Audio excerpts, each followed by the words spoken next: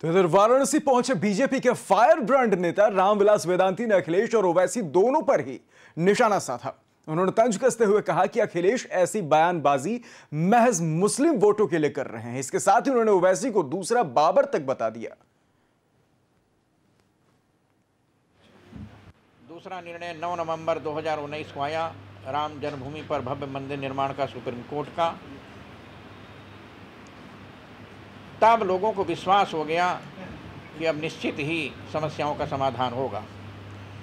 माननीय प्रधानमंत्री जी ने इच्छा शक्ति व्यक्त किया कि हमको मंदिर बनाना है।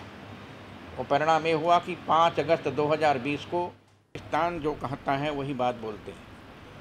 विश्व के कई मुस्लिम देश हैं। किसी मुस्लिम देश ने काशी विश्वनाथ के ज्ञानवापी मंदिर का विरोध नहीं किया। केवल ओवैसी कर रहा है, अखिलेश यादव कर रहे हैं और पाकिस्तान कर रहा है। इसलिए अखिलेश यादव पाकिस्तान के पद चिन्हों पर चल रहे हैं और ओवैसी दूसरा बाबर और दूसरा औरंगज़ेब बनना चाहता है।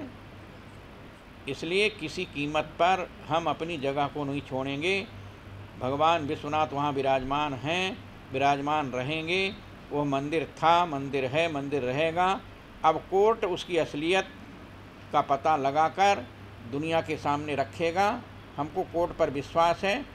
हम चाहते हैं कि कोर्ट दूध का दूध, पानी का पानी अलग करें और कोर्ट के निर्णय को हम लोग स्वीकार करेंगे। लेकिन ओवैसी कहते हैं कि कोर्ट गलत है। हम कोर्ट की बात नहीं मानते हैं। ये ऐसे व्यक्ति के ऊपर तो राष्ट्रद्रोह का मुकदमा लगाना चाहिए।